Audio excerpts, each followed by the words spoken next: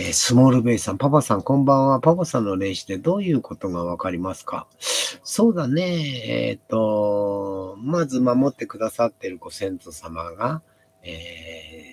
ー、どういった方がいらっしゃるのかなっていうことと、まあ、うまく伝われば、まあ、家計がね、ご商売の方なのか、あるいは宮勤めの方なのか、あるいはお侍さんだった方なのかっていうのが見えてきたりですとかね。うんあとは本ご本人の魂の、えー、徳の高さとかね、えー、そういったものですね。えっ、と、それ以外ですと、まあまあ、キンキンにお亡くなりになられた方がいたら、まあその方の思いっていうかね、そういったものをお伝えしたりですとか、えー、そういうことが、まあ、おおむねそういう形ですね。うん。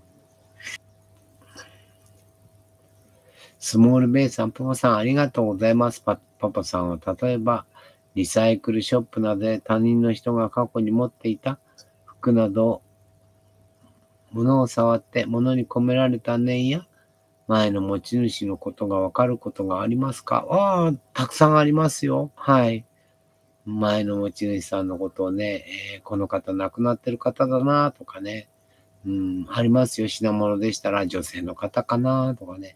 特に、えー、日頃ずっと身につけていらっしゃったものね、携帯ですとか、そういったものは強く伝わってくることがありますね。はい。悪いものばかりではないですよ。うん、本当に。えー、金、金運のいい人のものだったりする時もありますのでね。僕はだいたいリサイクルショップ行って気に入ったなっていうふうに思っても、えー、自分の中でね、あれっていうふうに思うものは、えー、購入はしないですね。はい。しめじさん、徳が高いって生まれ持ったものですか？努力して高くできますか？徳が高くなりたいな。えっ、ー、と、もちろん努力して高くすることはできますよ。えー、でも、えー、努力してあげられる徳って、え生まれ持って持っている徳よりも、から比べると、本当にね、少ないね、少ないんですよ、実はね。持って生まれた徳の高さと、えー、っていうものは、もうそれまでの人生の積み重ねでございますからね、生まれ変わりが激しく、激しいっていうか多くて、えー、それまで積んできた徳というものを一緒に前世さん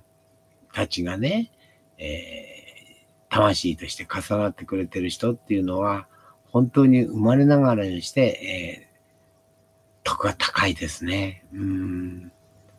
そしてそういう徳が高い方っていうのは、徳のは悪い方向にはやっぱり進まないですね。迷いはあってもね。うん、生きてるうちに努力して積む徳っていうのは、皆様が思われてること、えー、想像すること、人として道を間違えないことなので、僕に聞くまでもないことですよね。うんそれが間違いなく徳を高めることなんですけども、まあ日頃の感謝ね、が一番ですね。うん、例えばさ、あの、何？えー、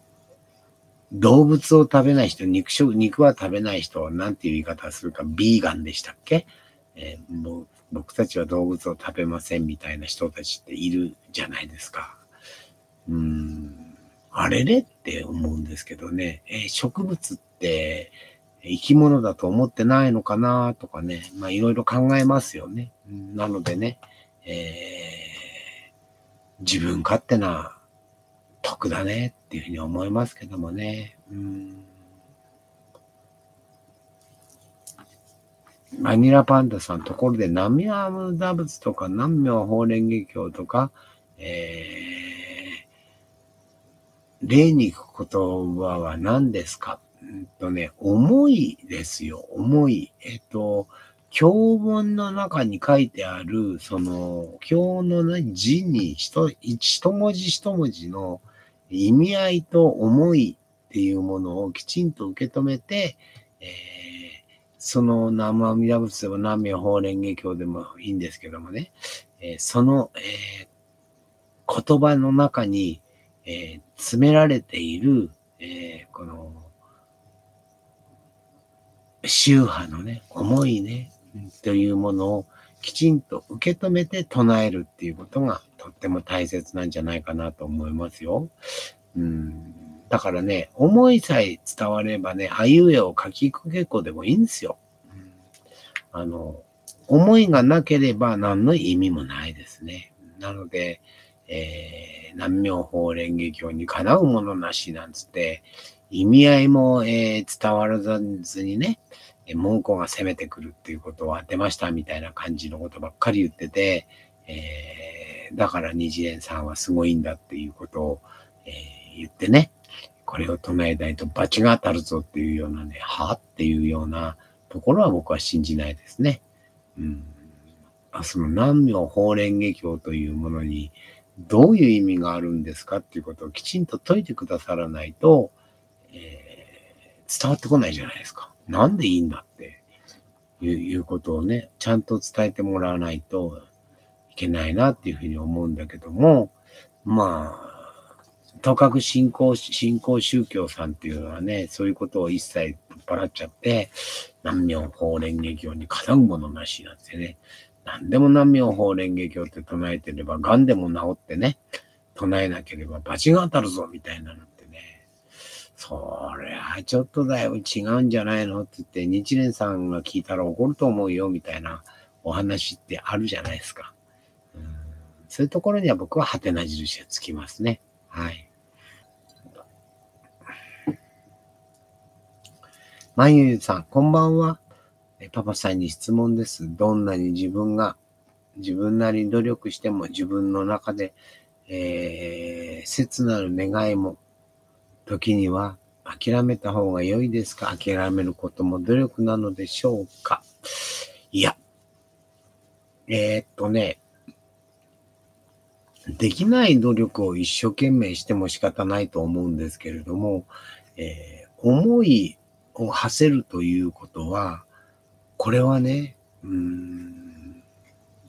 持っていらっしゃった方が絶対いいと思いますよ。えー、第三の力っていうものを必ず発揮するときが来るんですよ。人の力なんていうのは生まれ持って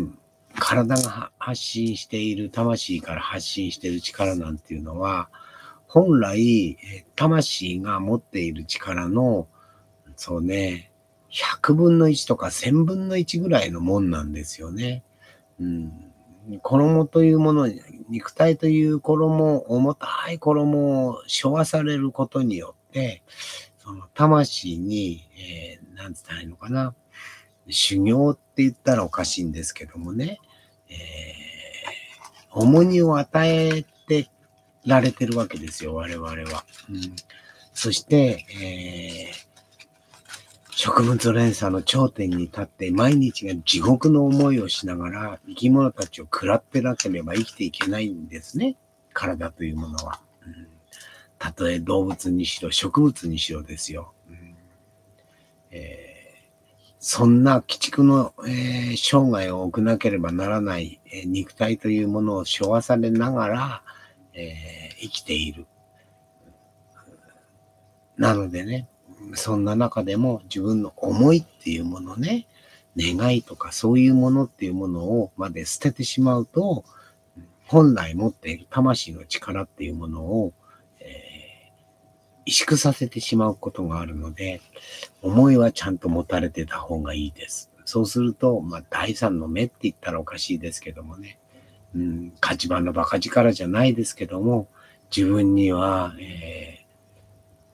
思いもつかない何かが発揮できるような時が来ると僕は思っておりますよ。はい。僕が32歳ぐらいでお化けが見えて、そして今に至っているっていうのは、うん、そういう現象なんじゃないかな、なんていうふうに思ってますからね。はい。